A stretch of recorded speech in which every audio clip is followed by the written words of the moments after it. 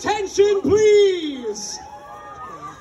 It has been a pleasure serving as your master of ceremonies for Grand Carnivale. Thank you very much. Can we give a round of applause to the royal dancers, everybody?